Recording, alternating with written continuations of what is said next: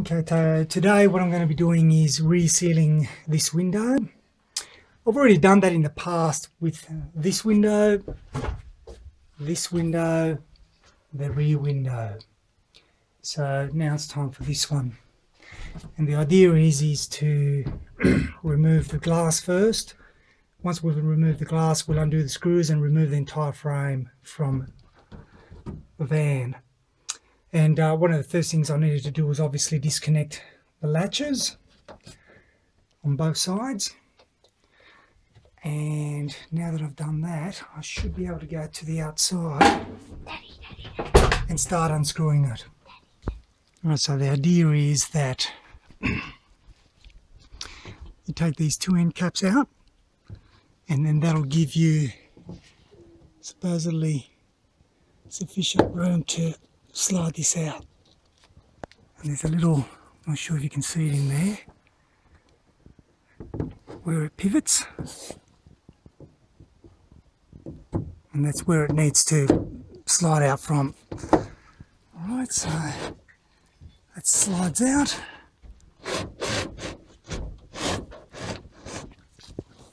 Just like that. It slides all the way out. I better grab it with two hands now. Okay, the window's out. And the next thing is to undo all these screws, which is holding this frame to the van. So you can see there's quite a few of them there. Simple process, screw them one at a time, put them in a bucket so they don't get lost. We're going to be reusing them and um, once I've done that then we'll proceed to the next step. Okay. Almost all the um, screws are out except for one last one.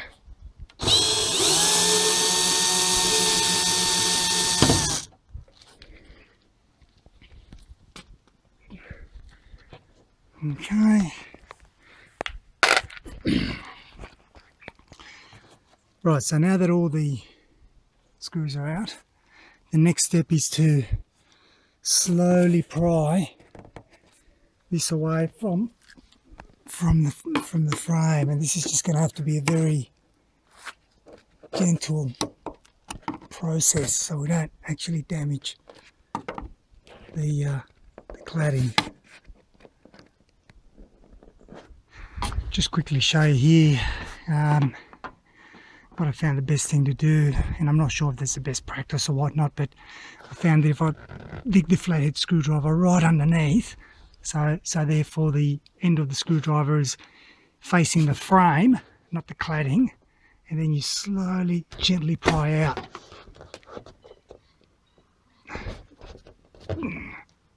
Okay, and you just do that at multiple locations until you start getting that movement. You can see how it's starting to now separate from the from the frame.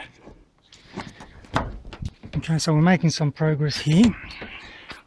Obviously many hands make light work, but now it's just a gentle, there we go, gentle persuasion to make sure we don't damage any of the cladding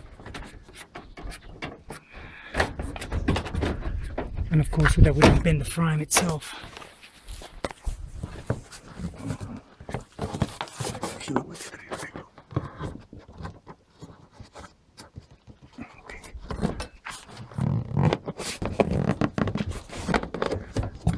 Right, we're almost there.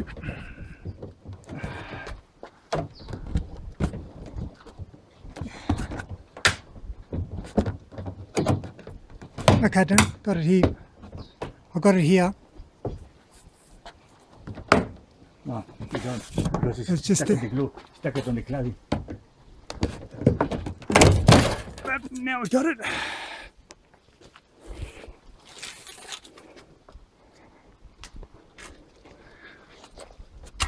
Okay, so this is the um, original material.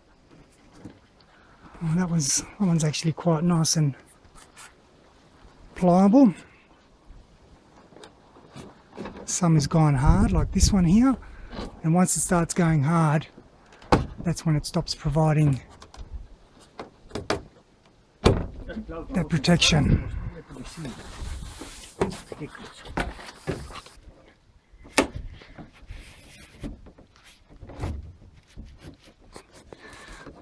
You just have to apply that process of removing all this semi-hard adhesive. Yeah, putty really. Not too difficult process and once we've removed that we'll um, clean it right up. Alright, so after a bit of a long and tedious process, finally managed to get the bulk of that stuff off. Okay, so as I said, just um, just gently rubbing it out um, to get the majority of it out. Right, so bucket, steel wool, and mineral turps should be about the uh, should be about right to apply. We'll get cracking with it. Right, so after about an hour and a half, both the frame, you can see, all nice and clean, and the window itself, all cleaned up ready to apply the adhesive.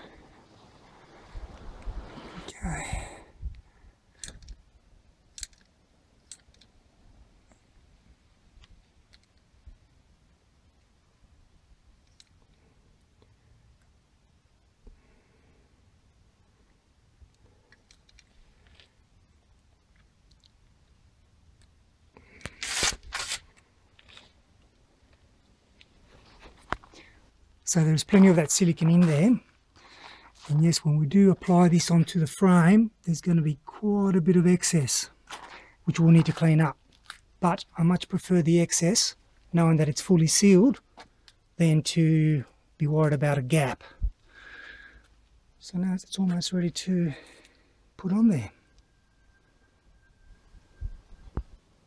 So at this point in time, we're just screwing using the original holes, screwing these back into the window frame.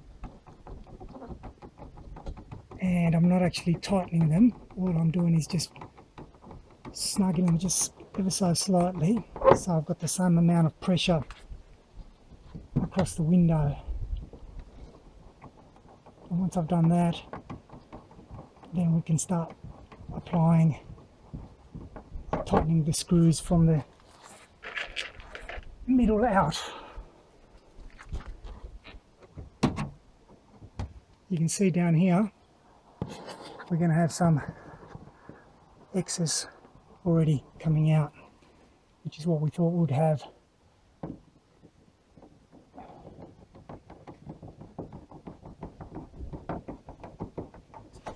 The inside of the window you can see the gap there where the Sikaflex has actually come all the way through.